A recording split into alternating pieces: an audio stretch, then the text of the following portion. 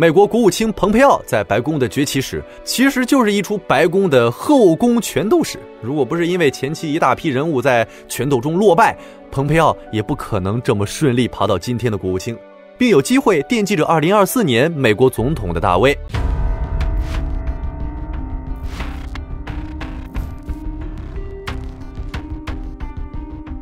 特朗普在他上任的前两年半，根据 NBC 的统计，白宫六十五个重要岗位，五十一个换过人，其中十六个岗位至少换过两个人，其一届任职内离职的内阁成员比任何一位总统都多。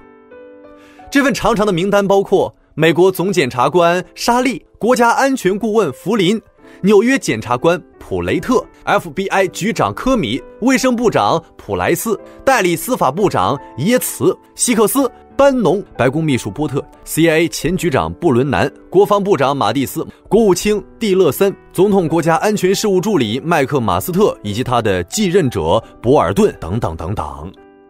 事出反常必有妖，在特朗普疯狂炒人的背后，是美国政治内部势力的第一次大断层的开始，是美国大分裂的起点，是特朗普力挽狂澜、猛击政敌的消耗战。因为中间权斗的过程实在太凌乱，细节太繁杂，所以我必须先将结论告知大家，以免大家在后面阅读中越看越懵啊！二零一六年大选，特朗普是险胜希拉里。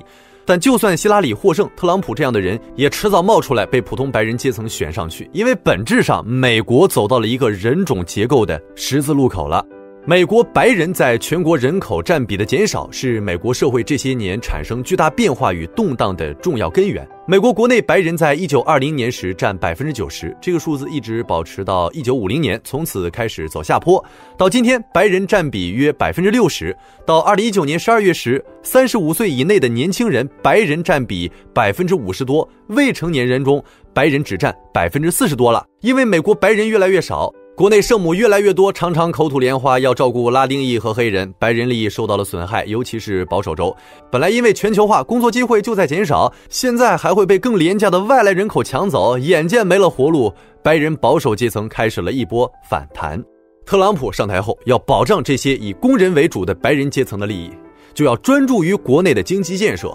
他对在国外无休无止的扩张和战争感到厌倦。他要收缩美国战略，防止其他种族再深入美国，避免美国拉丁化将精力留在建设国内上。而美国这个国家已经形成了全球霸权系统，很多公司和利益集团趴在全球霸权系统上吸血，已经习惯从中获得财富。特朗普一收缩，就会动他们的利益，因此双方展开了激烈的拳斗。特朗普看起来五大三粗，其实粗中有细，又十分犟猛。四年时间，整体上扳回了劣势，将扩张派一一打退，掌握了白宫的主动权。其实，白宫展开的是回撤美国本土 vs 维持全球霸权的内斗。好，解释一下为什么有些人、有些公司要维持全球霸权，大家就懂了。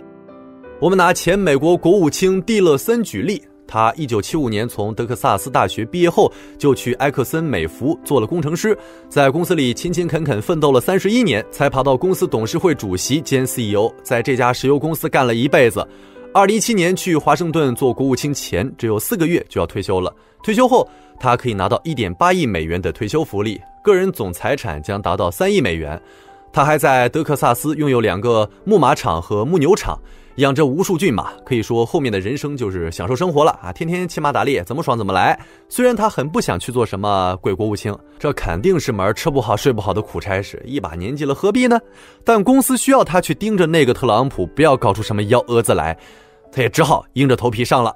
出任国务卿时，蒂勒森接受媒体采访说，是出于对国家的忠诚才上任。其实不是，他就是代表埃克森美孚利益去的白宫。埃克森美孚就是典型的在全球霸权中获利的公司。蒂勒森亲口说过一个故事：也门政府需要埃克森美孚的石油技术，他们希望跟埃克森美孚签订开发油井的合同。埃克森美孚对这个项目当时还没拍板，为此，也门高官在跟蒂勒森沟通时，悄悄递过去一张名片，名片背面写着一家瑞士银行的账号，官员跟他说，这个账号里有五百万美元。迪勒森把名片退了回去，因为区区五百万美元，他根本看不上。大家知道，也门是一个非常小的国家，这样的国家在跟埃克森美孚做生意时，为了贿赂 CEO 都出价五百万美元，其他国家可想而知呢。一九九零年代初，埃克森美孚就跟俄罗斯石油公司合作，这是一家超级国企，前身就是大寡头尤克斯，后来被普京给收归国有，并和埃克森美孚签了份几十亿美元的合同，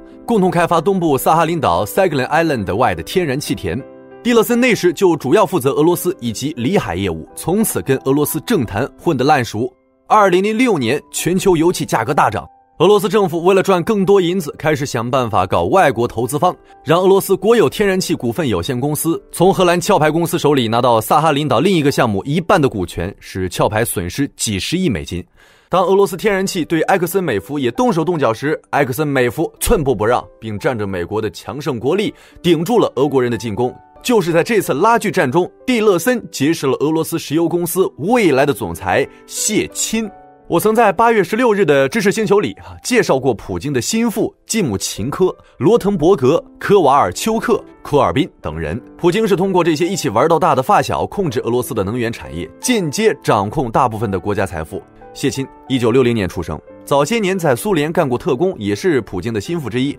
两人同属于圣彼得堡派，一九九一年就在一起共事。在政坛上，谢钦一直是普京的贴身要员。在总统办公厅混了多年，二零零八年升到副总理，二零一二年去打理俄罗斯石油。勒蒂森跟谢钦很是聊得来，当时住的别墅又刚好在一块儿，感情熟络，就通过谢钦结识了普京。俄罗斯至今靠卖油气为生，但开采复杂地质地区的油气需要先进技术，这种技术又在欧美公司手里。蒂勒森代表的埃克森美孚和普京一拍即合。蒂勒森没有从政前跟普京已经关系密切，有人拍到过两人在 Percy 餐厅一起吃过鱼子酱。通过这层关系，二零一一年埃克森美孚拿下北极喀拉海勘探石油协议。二零一三年，普京还亲自为勒蒂森颁发过俄罗斯友谊勋章。埃克森美孚和普京长期保持着秘密的利益往来，不仅仅是也门和俄罗斯，埃克森美孚的生意遍布全球，他们需要进行大量控场交易。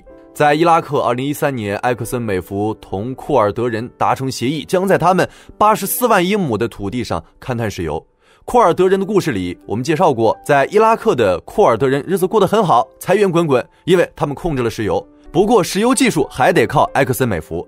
伊拉克时任总理马利基跑到华盛顿表示强烈抗议啊，双方在维拉德酒店进行会议沟通。马利基威胁蒂勒森，如果继续同库尔德人做生意。就要取消埃克森美孚在伊拉克的两项钻探项目，并说埃克森美孚是在分裂伊拉克、破坏伊拉克宪法。但这两个钻探项目同库尔德人产油区的项目比起来，利润太低。你们家宪法值几个钱？蒂勒森不为所动，还是选择了跟库尔德人合作。因为伊拉克领土上驻扎着美军，马利基拿埃克森美孚一点办法都没有，眼睁睁看着外国石油公司和分裂国家的势力做起了生意。弱国无外交。何年何月都不会变。在赤道几内亚，为了拿到该国的石油开采权，埃克森美孚就一直贿赂当地独裁者奥比扬。美国参议院2002年调查华盛顿的里克斯银行时，就发现埃克森美孚通过这家银行在悄悄给奥比昂打钱。埃克森美孚通常会把钱打到奥比昂的离岸银行账户，或者打给奥比昂控制的一项基金。后面发生的事情啊，就直接牵扯到蒂勒森为什么要出任国务卿了。主要是因为幺五零四号法规，因为发现埃克森美孚在跟奥比昂搞灰色操作，参议院起草了一项法案，要求美国的能源公司披露向外国政府支付的一切款项，甚至因此还要披露在国内的支付情况，比如纳税什么的。因为埃克森美孚强烈反对，和其他能源公司一起发起了游说活动。这件事情搞了好多年，也没真的搞起来。到了二零一零年金融危机爆发后，Dodd Frank 法案要求出台新的幺五零四号规则的内容，要求对银行和其他金融机构改革。这件事本来也不是冲着埃克森美孚去的。但间接会迫使埃克森美孚将国内国外的灰色交易全部暴露出来，给俄罗斯某某某送过钱啦，啊，收过也门某某某的钱啦之类，全天下就都知道了。迪勒森急得亲自去国会山找相关参议员游说，但是对方不听他的，急得迪勒森发了很大的火。这个法案本来是应该在二零一七年一月一日生效的，